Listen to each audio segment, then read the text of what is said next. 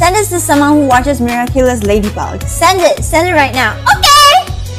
Step one, put on a tiny mask. Step two, no, you are in disguise. Step three, oh no, she's just a friend.